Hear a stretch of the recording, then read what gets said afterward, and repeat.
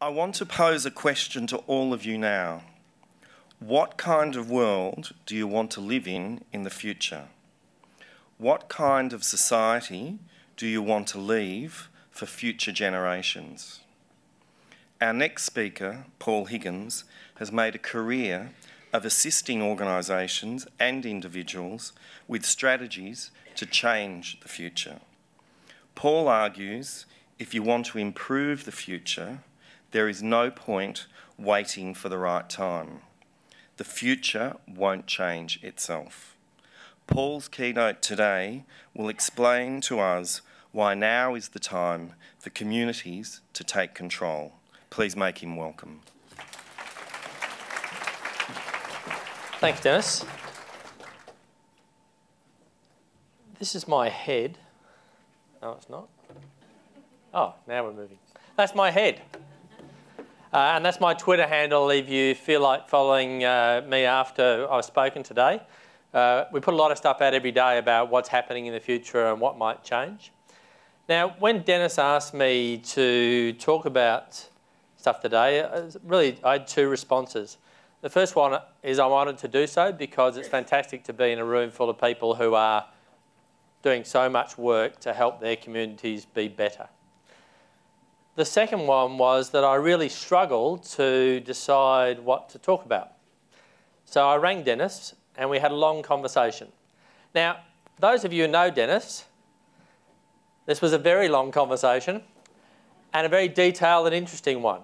And I end up with uh, two pages of typed bullet points about what I should talk about. Dennis then refused to give me six hours to talk. Uh, so I had a bit of trouble with that. And so I thought, well, I'll go and talk to a few people in the sector I respect and see what they think I should talk about and use that. Uh, and so I ended up with three pages of uh, bullet points, which didn't really help me that much. So I thought I'd do something slightly different today, which I normally do, which is I actually want to walk you through my struggle uh, rather than a, a normal presentation that I do. And that really encompasses a few whys for me. And the first of those is embedded in this photograph. Uh, so that's me in 1970 with my grandmother, my father, and my mother. Now, I know what you're thinking right now. He looks about 40. How could he have been a child in 1970? That's not funny. That is a picture of my father uh, receiving his PhD in metallurgy in 1970. He left school in year 11 uh, because the family essentially couldn't afford for all of the kids to stay in school.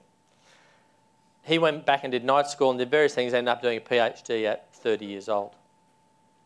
Now, he did that because he felt uh, there was lots of opportunities he could get for him and his family if he did those things. And that was that photo was taken in England. We ended up coming out here to Australia. And he did that because he felt like England was sort of struggling a bit and he wanted us to have more opportunities.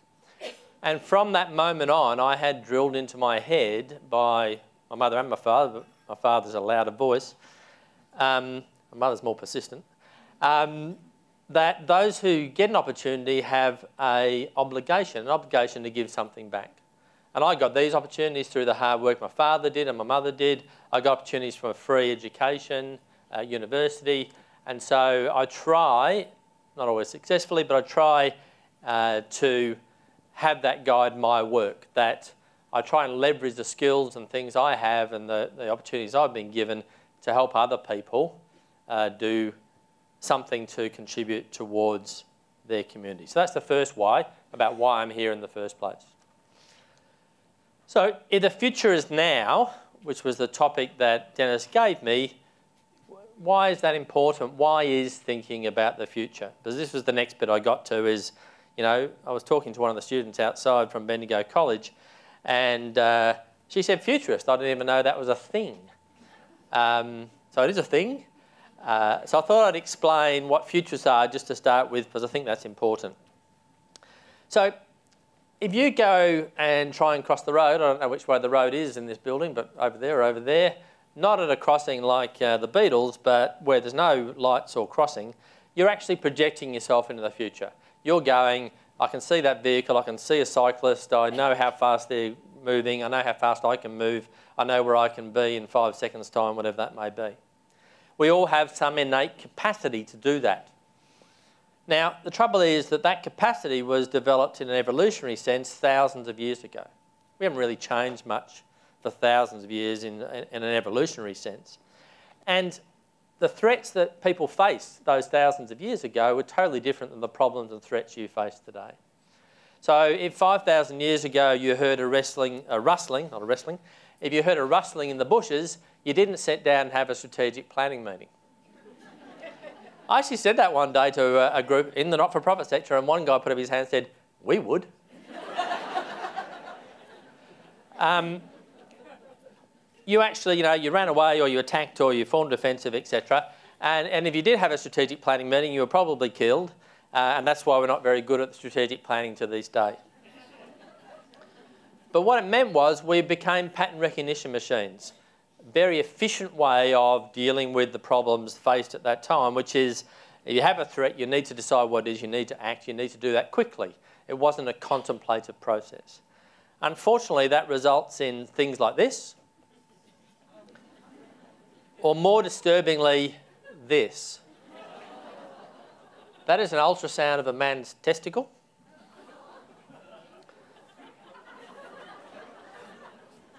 I'm very pleased to say that I've recovered fully. Um, no, no, but yeah, we're hardwired to recognise patterns, and one of the patterns we're hardwired to recognise is faces. And what that means is we're evolutionary uh, from an evolutionary perspective, we're not very good about thinking about the future in the modern context.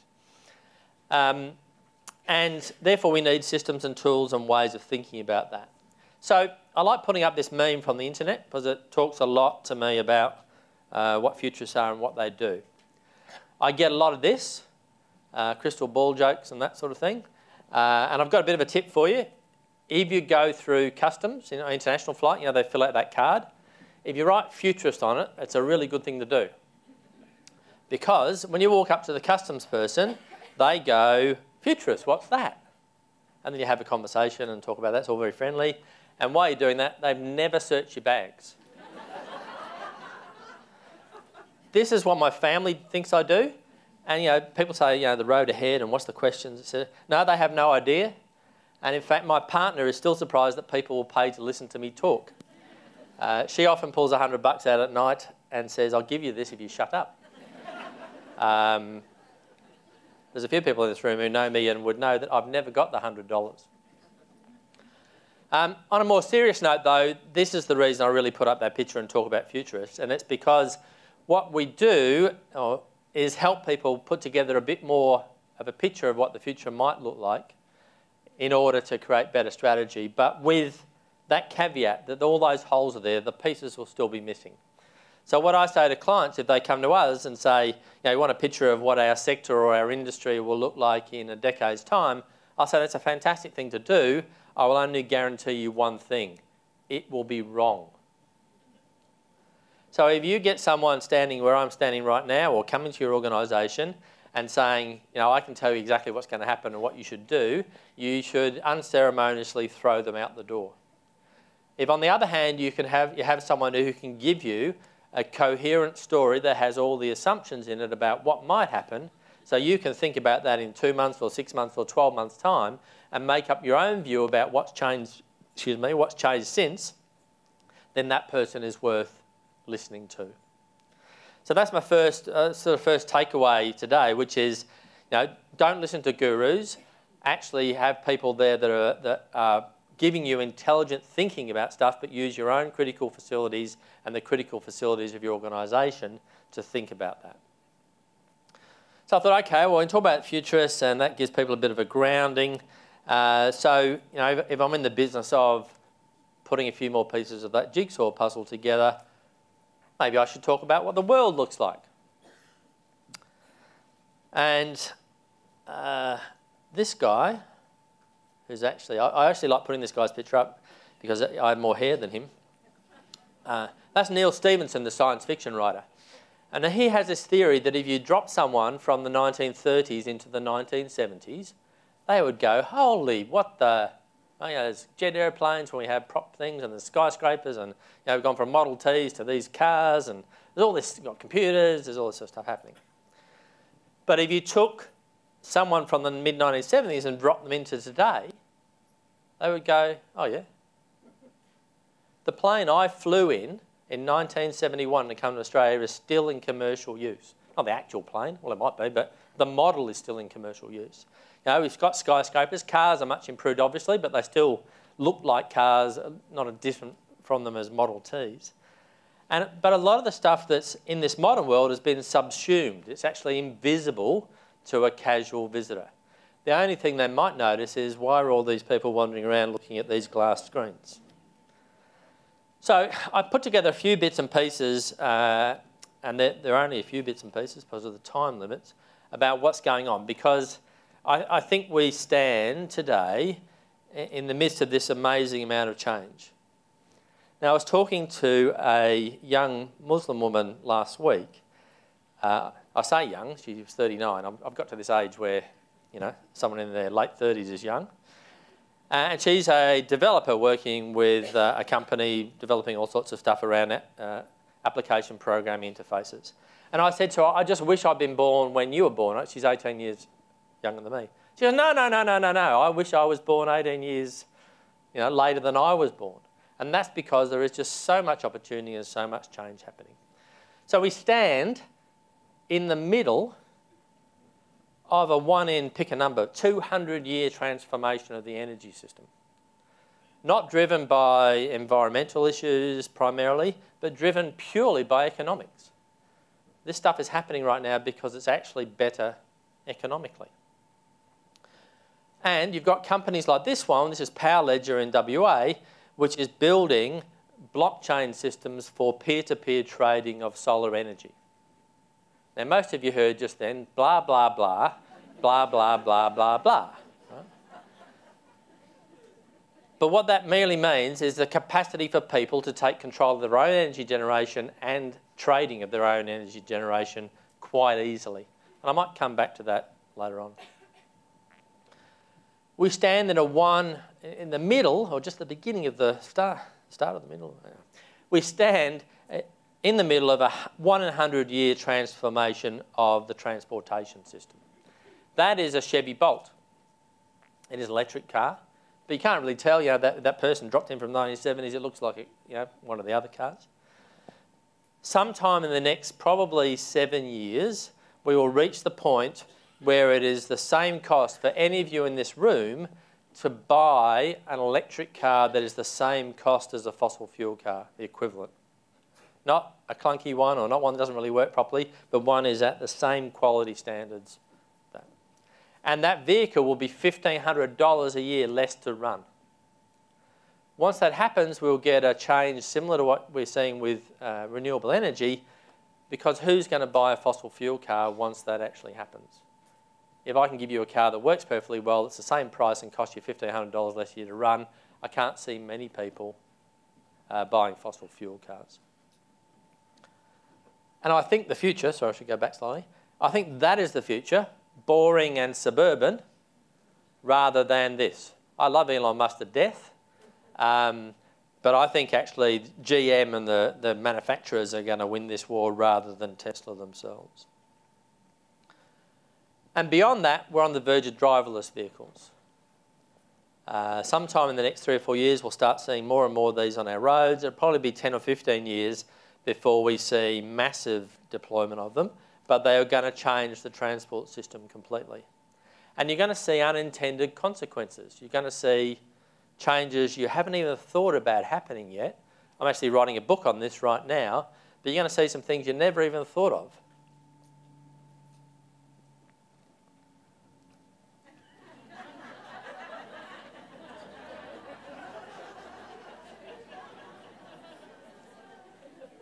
There are lots of other consequences too for uh, parking and urban design and federal excise and a whole range of things. But anyway. And one of the things happening right now is uh, this is the third uh, AI-based application that has been approved by the Food and Drug Administration uh, in the last uh, eight or nine months for as a medical application. The one before it was is a diagnosis uh, for a retinal problem related to diabetes that used to have to go used to have to go to a specialist to get tested, as now can be done by a GP using the application. So we're seeing these massive sort of movements of power and information towards the edge, uh, including things like this. So, you know, cassava is one of the biggest uh, uh, plant crops in the world, and if you're a farmer in sub-Saharan Africa now, you've got on your, you can have on your mobile phone a system which will let you diagnose via AI health problems with that. Now, many of you may be thinking at this point, so what? Um, a couple of examples, but I think a so what question is actually fairly apt. So if you think about those uh, driverless vehicles, they're a little way away, but there are things which will be happening in the next three or four years. We've calculated that one of those as a transport, a, a, an actual transport service where you don't own your own car but it comes and picks you up, can get at a shared level down to seven cents a kilometre. Now that's a commercial rate. We believe a government service using those vehicles would actually get down below five cents a kilometre. If you think about that, that means that I, forgetting about tolls and things, that I could get from here to the airport for about 80 cents compared to taxis currently $45 or something like that.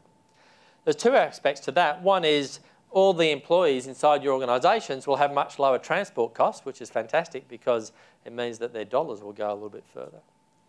But also it means that people who previously couldn't have afforded to have personalised flexible transport will be able to access that.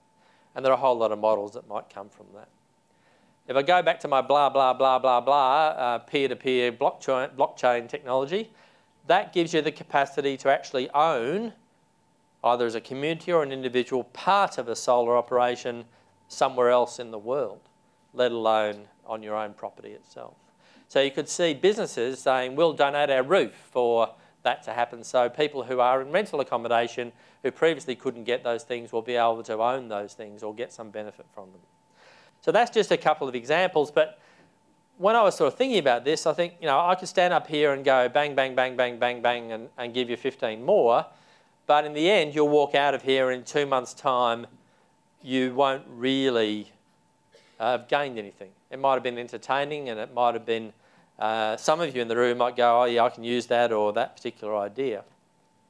And I've seen this a lot around the sort of people, you know, like oh, I do these presentations, where people get up and do this amazing thing and people are entertained, there's videos and there's things flying and there's all this technology and there's all this stuff happening.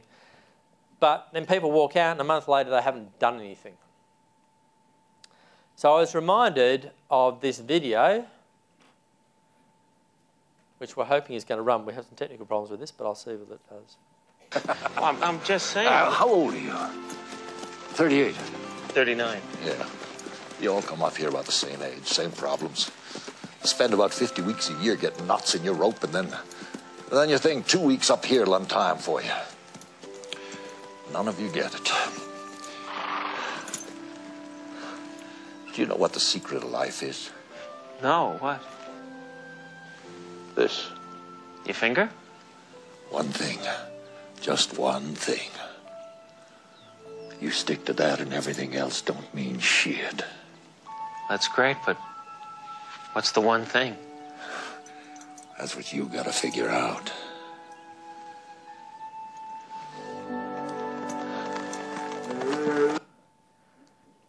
I love Jack Palance. Um, so I went, okay, what is the one thing? I, I did a master's degree from 2000 to 2003. I've been doing this work for another 15 years. So if I could think of the one thing of 18 years that I could condense all of that down for you, that you could take away. Because when I spoke to Dennis, one of those things in those notes is people come here, they work really hard. It's a hard slog in this sector a lot of the time and they come here to be rejuvenated, to be inspired, or to get something they can take home and do something with. So I thought, what's the one thing I could condense down for you guys? And to me, that was the capacity for you to take all that stuff and make some more sense of it. Because even me doing this every week of every year in my work, I still get overwhelmed by how much stuff is actually happening out there and the change that is coming in the world that will impact on you guys. And I picked one thing, and there's two reasons why I picked this one thing. That is because it is the best thing that I've seen in that time, in all the time that I've worked in this area, to understand the strategic landscape of what might happen and then chain, turn that into something you can use. And the second reason is it is completely open source. So it takes a bit of work, and you'll see that in a minute because I'm going to hurt some brains in a minute. But you can access it completely online for free inside your organisations if you like it. And what it does is answer that question about how do you eat an elephant? And it's one bite at a time, right? So you know you can have all this stuff, blockchain and bitcoins and solar and robots and automation and future of work and blah blah blah blah blah.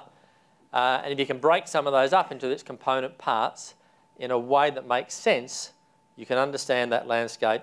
You can have conversations in your sector and in your organisation that make sense, put you on the same uh, communication level about what you're talking about. And it's about understanding the evolutions or the patterns of change.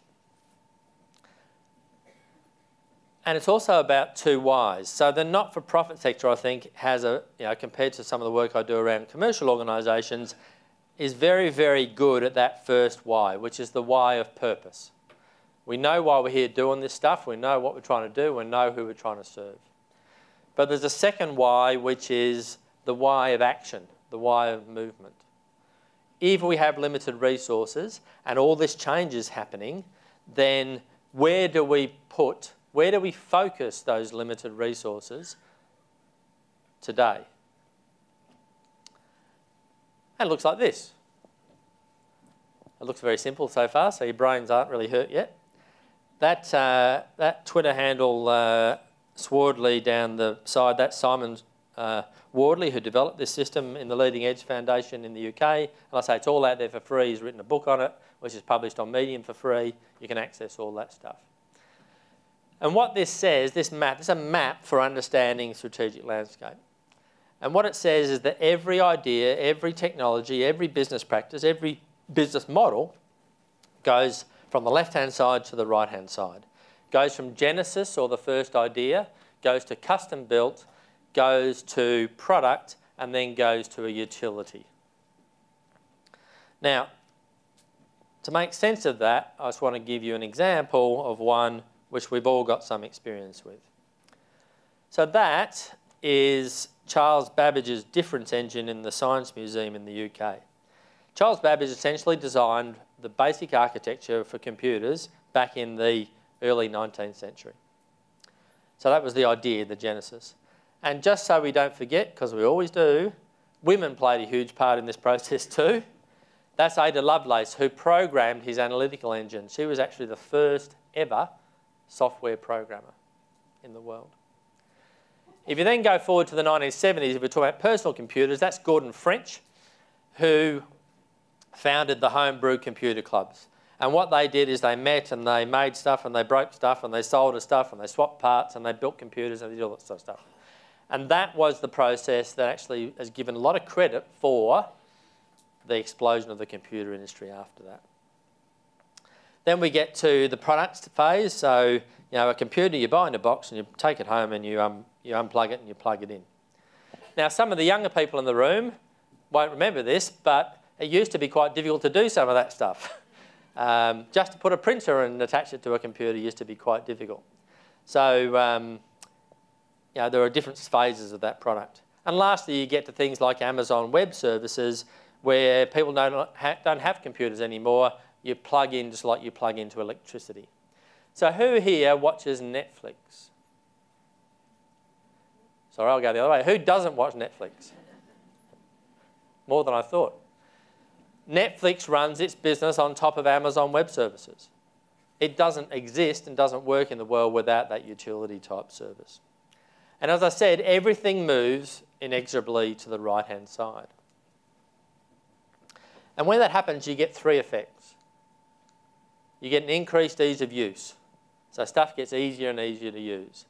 And the, the platform that Dennis and uh, Vanessa were talking about before is exactly that. It's a platform, a utility platform to make things, practices that we've got around HR easier to use. It gets increasingly, increasingly reliable. You know, for the people who put their hands up before about Netflix, how frustrating is it now if Netflix doesn't work for three seconds? Right?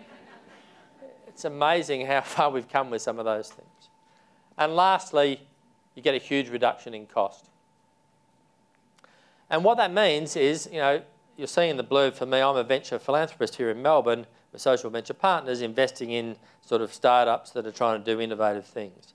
It means, all those things means you can build on top of those services something a lot more easily. It costs less money, it's not as hard to do, you can take more risk in that process. The money we put into that venture philanthropy goes further.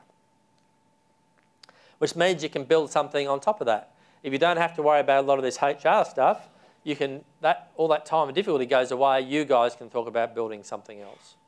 And inevitably that cycle continues. So that may all sound at this stage a little academic, so let me give you a couple of demonstrations because uh, this model is more than that, just that evolutionary model. It's a map. Now, if you think about a map, a map basically has five characteristics. It is visual, so you can see it. It is contextual. No point trying to find your way to Phillip Island with a map of Iceland. Uh, it has position. You know where stuff is. And in this map, I can't point to every single one, but the, the, left the bottom axis I've already described. The left-hand axis is about visibility to the customer or the client. So down the bottom is further away and invisible, towards the top is visible. It has an anchor. So, you know, if you don't know which way north, south, east or west is, you've got a bit of a problem with a map uh, and using that map.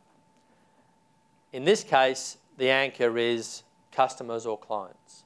The whole map is focused on what are we trying to do for customers and clients and what are all the components look like from that. And the last one, it has capacity for movement. If you can't move using a map, you've got a problem. And the difference between using this map compared to most standard business maps, which probably aren't really maps by that definition, is it gives you the answer to that question. Where should we focus our resources? So we're all going to start a coffee shop. The focus is the customer. So we want um, great coffee, great cakes, location, fast service. So that's what the customer wants. We've got this great coffee machine. I've put it over in that custom built column because it's one of these Italian ones with 35 knobs and 12 gauges and five levers, and only Antonio can make it work. We've got a kitchen because, you know, we we want to produce our own stuff. We've custom built this thing. We've lovingly put tens of thousands of dollars in it because we're real foodies and we're doing all this sort of stuff. So you can map all of the stuff out there. Where does it sit? How visible to the customer is it? Where does it sit on that evolutionary scale? And then you can start having conversations about where will we do something different. So, you know, Antonio's the only one that can make that coffee machine work. Why don't we get a utility coffee machine? You can get these ones now, you know, with an iPad or a tablet on the top and all the gear underneath and it comes out the spout and we don't have to worry about all this Antonio stuff. We could say we're having a lot of trouble getting reliable staff, let's put some robots in. And we've already seen that in cafes around the world, more as a gimmick at this stage, but heading towards that. And I said before that everything moves inexorably to the right, but sometimes it can go the other way. So if we sat down and said we're going to build a coffee shop, the first thing we would do would be build a power plant. Normally, it wouldn't be the case, but here, if you go back to that technology I talked about before, the blockchain, the peer-to-peer -peer trading, the solar, you could actually build a power plant. You could build a power plant on that coffee shop that said, okay, we're actually going to put that up there and we're going to have trading systems with it. And there are times of the day where that solar power will actually have more output than we can use and we're going to donate that to the community. Now, all of these conversations, you can start saying, well, we, don't, we want to keep the coffee machine, we don't want these robots and things because our customers really want the personal touch. Maybe they do, maybe they don't. But once you start talking about those things, you can actually have a conversation at the same level. Should we do this here? What are the effects in the map if we do that? And as I said, we could actually occasionally go back the other way, where we've now got a message that says to our customers, we're completely running on renewable energy and we're donating our surplus to the community as well, so why wouldn't you use us for your local coffee shop? As I said before, we're writing a book on the future of driverless cars, so we use this all the time ourselves. There's a map of the current car system at a very high sort of strategic level. Don't worry too much about that, but you can then go down and do subcomponents, and this is a subcomponent of the energy system. Now, if you think about that, the picture of that Chevy Bolt I put up before, most people drive about 300 kilometres a week.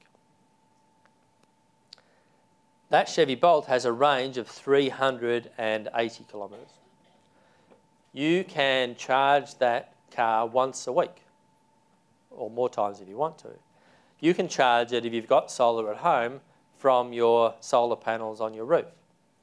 If you've got solar panels on your roof and you've got um, your car's only home on the weekends, but instead of feeding your excess on at, you know one o'clock on a Saturday afternoon back in the grid, you can put it in the car. If that's the case, then all of this goes away. Why do you need petrol stations?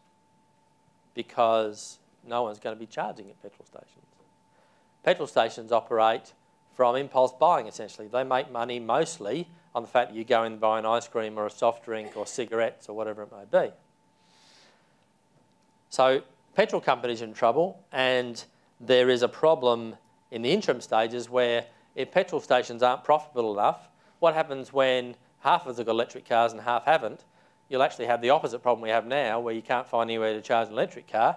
In five years' time, you're probably having trouble finding petrol stations to fill your fossil fuel car with. So what this does is allow you to have this conversation and start thinking about these things and talking about them in a way that says, that's what the future looks like. What could that mean for us? And lastly, as I said about this driverless car stuff, it's moving towards what we call transport as a service. So we did an exercise a few weeks ago with the Taxi Services Commission in Melbourne. And you know, they've been kicked around a fair bit for the last few years. Uh, taxi license holders and customers and all that sort of stuff. Who saw that social media stuff where the taxi guys decided to have that, you know, tell us your taxi story on Twitter? Don't know who, who approved that, but go and read it. It's, uh, it's not very helpful reading. Um, but if we get to transport as a service before, I say you won't own your car, a car will come and pick you up. And if you think about that, we have, this is from GM, we have a peak transport need in the morning, we have a peak transport need in the afternoon, so there's a, the lull in between where cars aren't used as much. So we challenged uh, various groups of the Taxi Service Commission to come up with an idea of a business model that they could build on top of that graph. And this is what one of them did. So this is a service that we would supply to customers that would give them cheap, convenient transport to shopping. It would tender out from a tendering application to the driverless car companies because if we get to the stage of having enough cars supplying transport that we don't own them, there'll probably be four or five major companies with two or three hundred thousand vehicles each uh, that will come pick you up and take you to wherever you are. We built into it advertising systems because if you are a, a shop owner, say at Highpoint, which is up the road here, then it's much more value if I know you come and actually enter my store and maybe I'm willing to pay for your transport to Highpoint if you just enter my store. Because a thousand people seeing my ad versus one person walking my store makes a lot of difference. And so you can then start having this conversation about which parts of that model should we be, be in, what's going to change, what other things are going to change, what can we build on top of that, what opportunities are there for the not-for-profit sector. So, in the future is now, I have three things to leave you with. That isn't one of them. Um, listen to futurists or people that talk about the future, but always remember about those holes. Throw them out if they can't tell you all the assumptions which go with it. That world, I could have stood here and talked about 400 other things, is going to keep rushing at you tremendously hard. So I'd like you to think about one thing when you go back to your organisations, and that is how do I better understand the strategic landscape in which I'm going to play and these things that are going to affect me? That's the best model I've ever seen to do that, and we use it all the time. You may find other things, but the key thing is how do you find that strategic landscape, understand that so you can have conversations and understand the technology, demographic, environmental changes that are coming so you can build better organisations that will do more for the communities you're trying to work in. And if 50 of you go away and do that and uh, email me or Twitter me in six months' time that you've done something different from what I've said today, that is the only thing that will make me happy from today that you've actually done something from what I've said rather than me give you some entertaining or slick presentation. So thank you for your time. I'll be around the rest of the day and uh, I'm happy to be bailed up in a corner and argued with or talked to as we go along.